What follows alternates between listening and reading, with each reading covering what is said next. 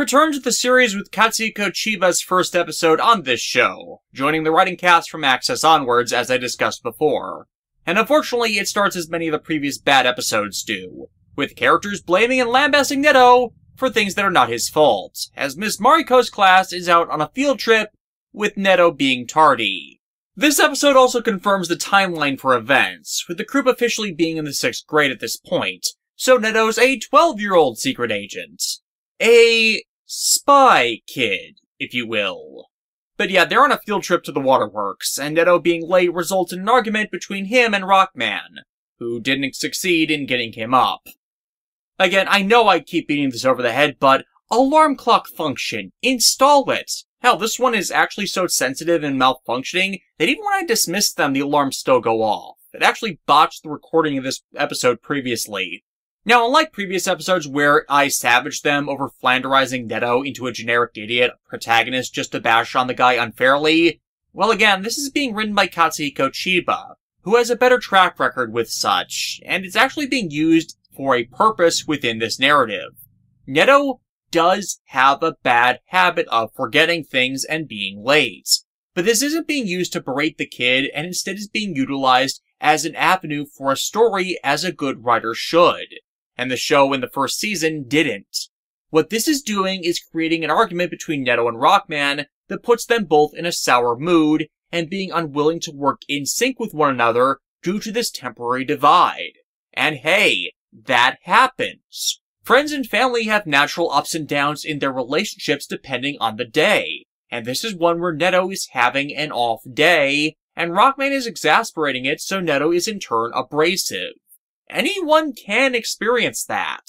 This is then creating a conflict in the story that needs to be resolved. As remember, their ability to maintain a cross-fusion form with help of the synchro chip is dependent on their synchronicity and the bond they share. If the bond they bear is damaged or in turmoil,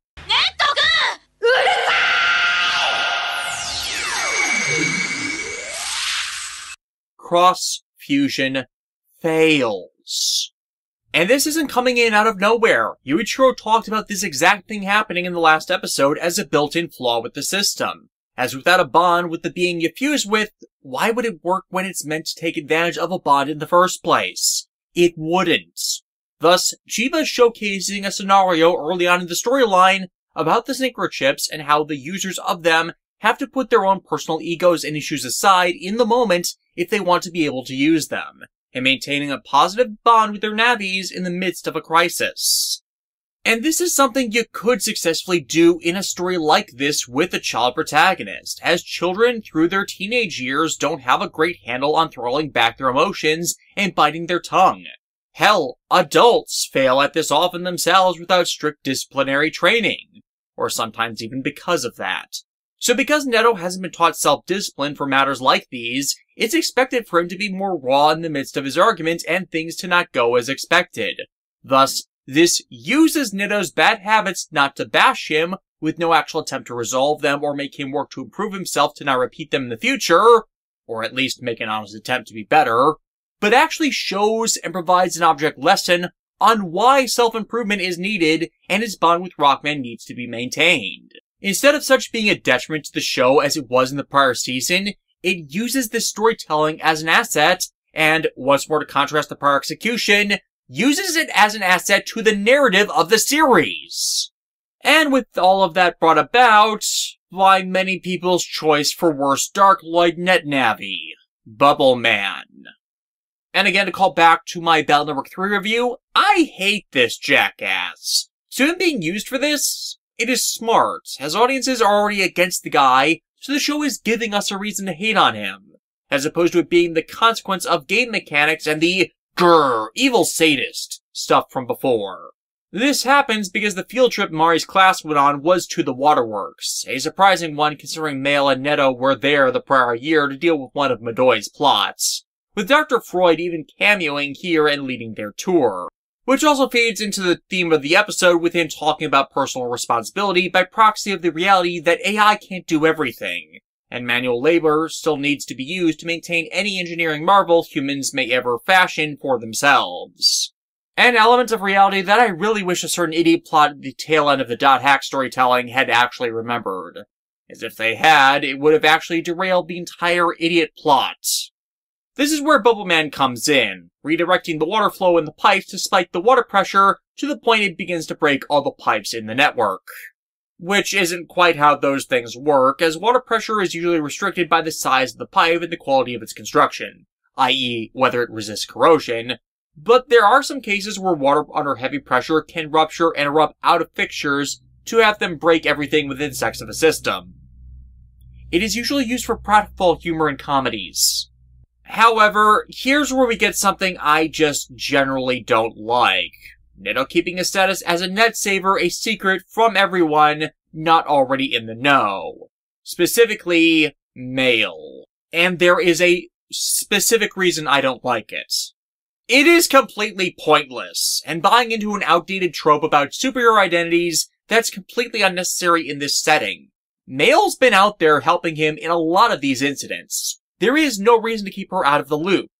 Furthermore, their enemies already know who he is, and they're not exactly being subtle about their attacks. Are they seriously going to try and cover up the fact that they deputized a 12-year-old kid to help fight the Darkloid threat? Cause at this point, there's no reason to keep something like this secret.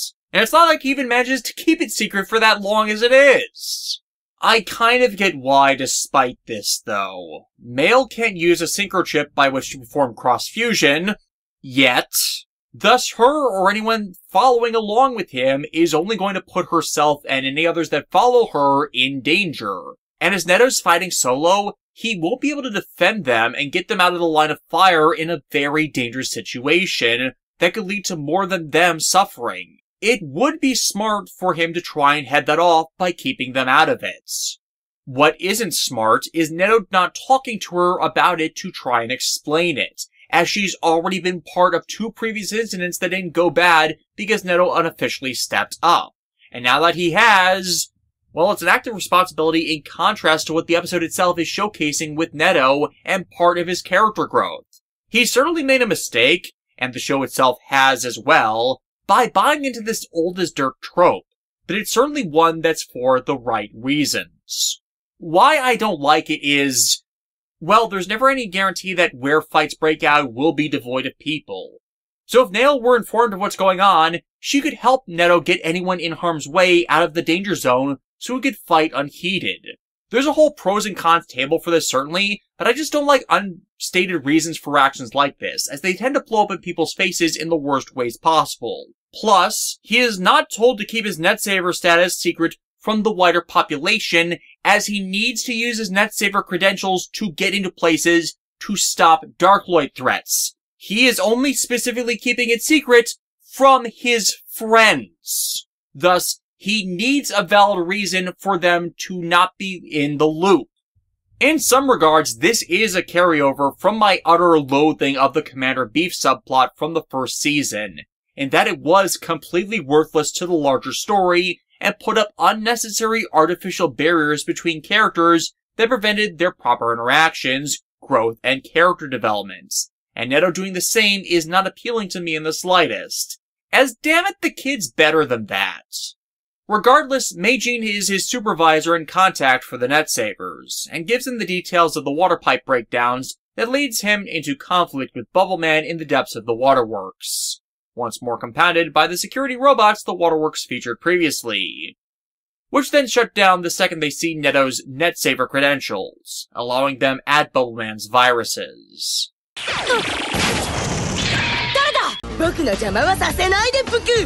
I'll puku you, you stupid little... he gets his... He gets his... Also, credit to Wolfpack Productions' old subs on this. I actually like it when translators leave in characters' verbal tics like this. It adds to the characterization of the individual with the tick. And the sound symbol equivalent for this used in the games, blub, just never sounded right to me as that's not a proper onomatopoeia for the sound of a bubble popping.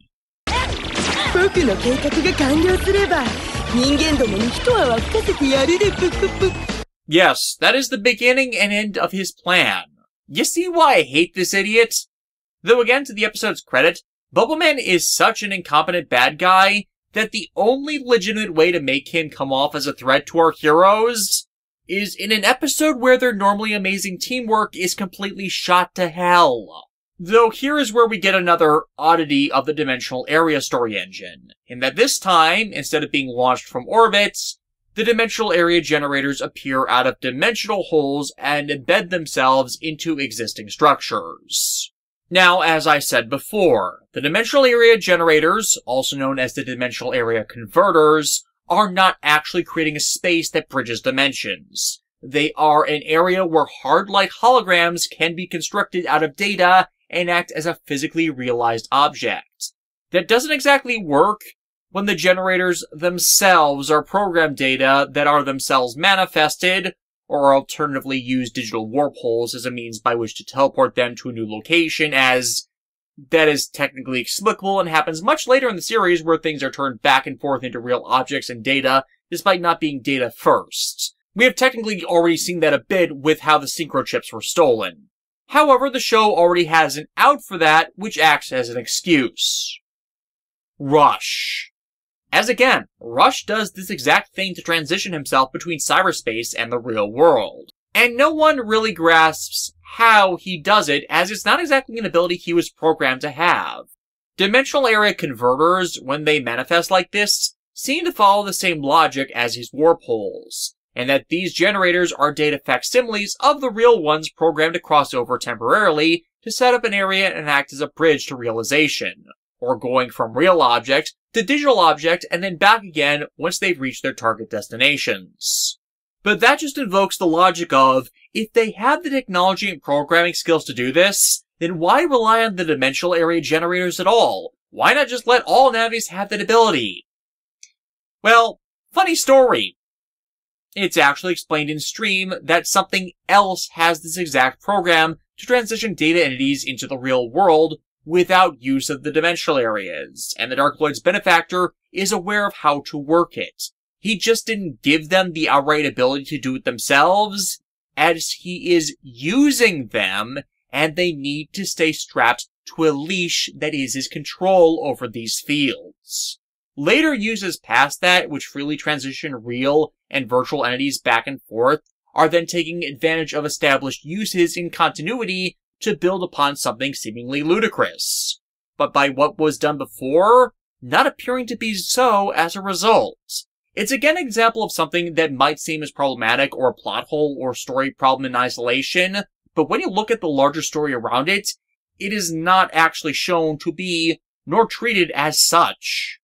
Now, unfortunately, as once more Netto and Rockman are at odds and Netto's been having a bad day, with Bubbleman manifesting itself right in front of them, Netto is in a rush to get this all over with, and not listening to Rockman about trying to deal with Bubbleman's sabotage first before fighting him mano a mano.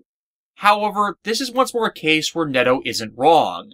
They've seen from Beastman's attacks on them the threat a realized Navi is, so wanting to fusion up right away to deal with him is an appropriate response. The problem, and an understandable one considering Netto's age and relative experience, is the logical thing to do is not always the right thing to do in a situation. Sometimes there will be other priorities that trump dealing with the actual active threat, which is Bubbleman getting control over the waterworks' entire sewage system. For that was still in progress and Rockman wasn't able to end. And also because they are new at this, well, Netto forgot to slot any battle chips into the PET's active memory. Again, Netto is just having an off day. To be fair, this would be only the third time he's used cross fusion, so he wouldn't have exactly gotten the muscle memory for that yet. We also get another question answered when Netto is told to try indirect methods of fighting Bubbleman. Why not just destroy the dimensional area converters to shut these guys out? And again, the answer is simple. Anything made manifest by the dimensional area generation system will obviously not be able to damage the source of what creates it, as it is projecting the field outwards from it. The second it would go through the casing of the generator, whatever would attack it would then resultantly vanish as it's just a hologram. And the casing for these converters are solid enough that nothing that was physically there in the real world that they could get their hands on would likely be able to smash enough of the generators by which to shut down the fields. I mean, it's not like they have on hand heavy explosives, and I doubt just breaking the buildings to use the rubble to crush them would be a viable alternative. This is where in contiguity with the episode, Cross Fusion failed, which I showcased before. Netto additionally forgetting to log out Rockman, making it so he had to take the long way back to Netto's PET to try again, during which Netto's left at Bubbleman's mercy.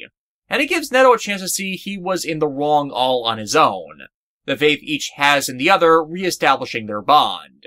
As Netto tries to make up for the inability to cross-fuse in the interim by trying to stall Bubbleman all on his own. This also helps to show that, while Bubbleman is by far the weakest and most incompetent of the Darkloids, even just one of them is a threat and outmatches a normal human in all ways. Once more emphasizing the importance of cross-fusion as the asset it is.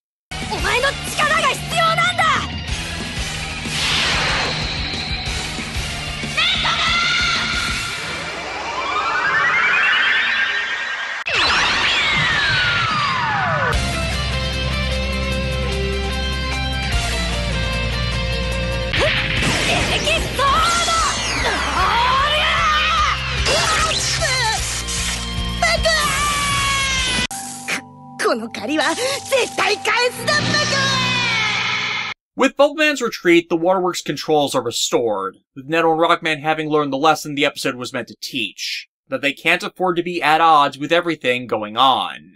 And at the very least going forward, informed is forewarned. The wrap-up. We have, it turns out, I'm the asshole! For Netto and Rockman being at odds throughout the episode. We have toilet humor, to Bubbleman wanting to prank people with exploding toilets.